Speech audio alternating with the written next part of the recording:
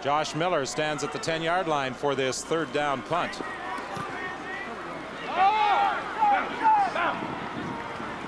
It bounces to Clemons.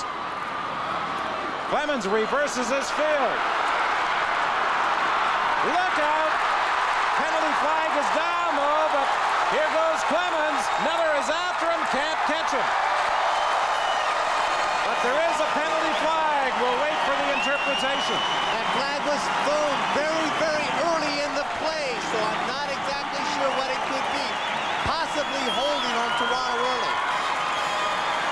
A 63-yard return for Mike Pinball Clemons, and it will go for naught.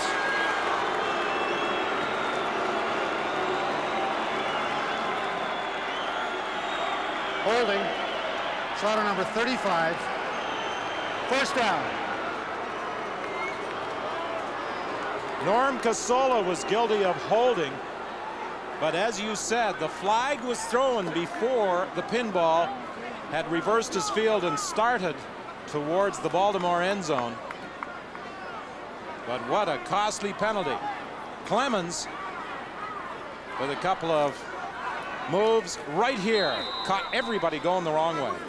They're not one other person except Henry Gizmo Williams and Michael Pinball Clemons when they touch the ball on punt returns that can have fans standing on their feet.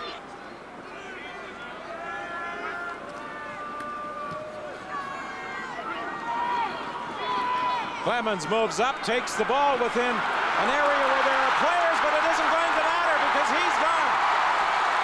Josh Miller may have pulled the leg as he moved up to try and make the tackle. There was going to be a no yards call against Baltimore, but Mike Clemons denied a touchdown by a holding call the first time he returned one in this third quarter. He adds five yards to his previous run back. This is a 68-yard punt return touchdown for the pinball.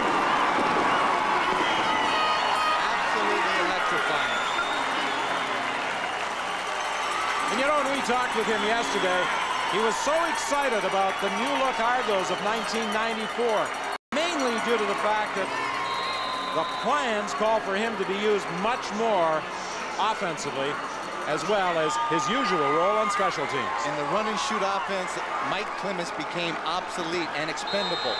Now with this offense, Mike Clemons becomes exactly one of the most exciting football players that's in the CFL. And one of the most well-liked and popular guys, not only in Toronto, but across Canada.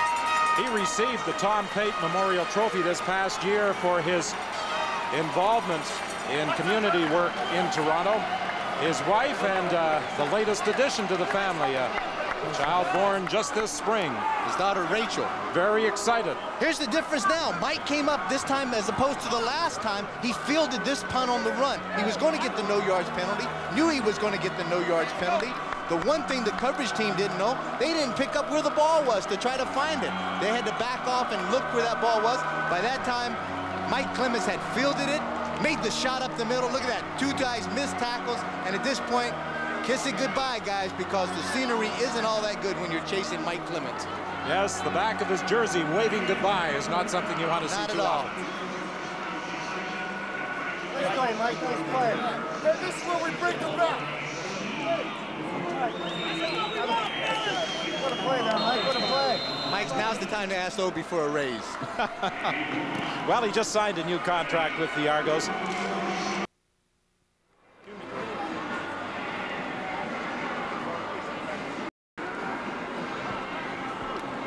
Well, back at Skydome, I suppose you'd say that Pinball Clemons is the definition of class. I think, Don, you pointed out that he gave the ball to his daughter. Rachel's only 14 and a half weeks old. He proudly pointed out she's attending her first ever regular season CFL game. But he said that run back was for the late John Candy, the late Argonaut owner who's being honored at tonight's game. And uh, I think uh, players the league over agree that Pinball Clemons exudes that word class, Don. Well, he exudes class. You know, he's the last player to leave the field after practice. Youngsters around asking for his autograph, and he accommodates all of them. And it's a conscious effort on Michael Clem Pinball Clemons' is to stay, is to stay there and make sure that everybody is accommodated and taken care of with an autograph, with a signature, and he is one that really gives something back to his community.